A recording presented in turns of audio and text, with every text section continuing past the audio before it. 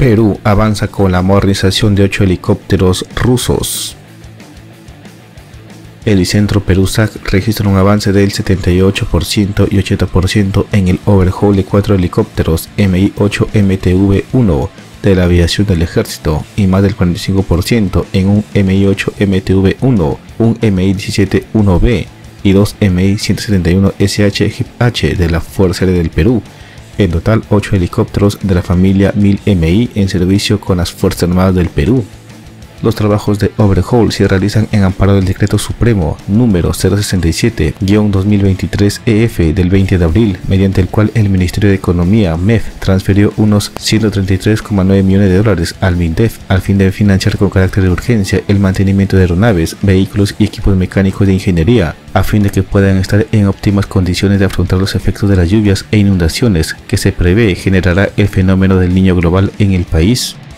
los Mi-8 MTV-1 HIP-H de la aviación del ejército, versión de uso civil de los Mi-17-1B, que vienen siendo sometidos a un overhaul desde el mes de junio. Son los registrados con las matrículas EP643, EP650, EP660 y EP662. Se trata de naves adquiridas de segundo uso en 1994 e incorporadas en 1995 que operan a orden del Batallón de Asalto y Transporte número 821 Teniente Coronel EP Gustavo Escudero Otero.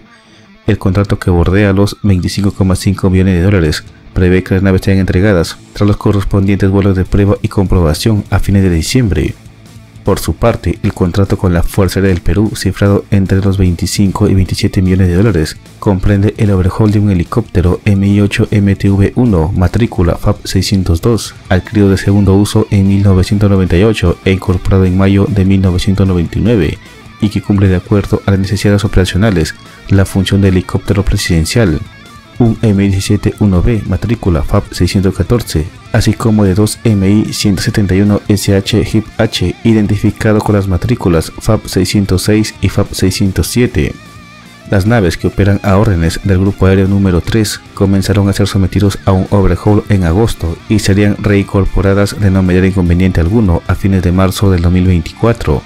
En ambos casos, el overhaul a cargo de Elicentro Perusac, que cuenta con la autorización de los fabricantes y certificación de la DGAC para operar como organización de mantenimiento aprobada. Comprende además la ampliación de tiempo límite de vida horario calendario TVO, garantizando no menos de 2.000 horas de vuelo u 8 años de operación. De acuerdo a lo establecido en los manuales y boletines técnicos del fabricante, el overhaul comprende un proceso de ensamblaje total, incluyendo componentes mayores y menores, así como las secciones estructurales necesarias para su inspección, reparación o reemplazo a fin de recuperar su condición estructural, a fin de garantizar la correcta simetría y balance de las naves. A esto se suma además una serie de estrictos procedimientos de control de calidad y pruebas no destructivas, la reparación o reemplazo de todos los componentes de los sistemas de combustible, eléctrico e hidráulico, y de los diversos equipos de aviónica y radiocomunicaciones. Bye, bravo. Suscríbete.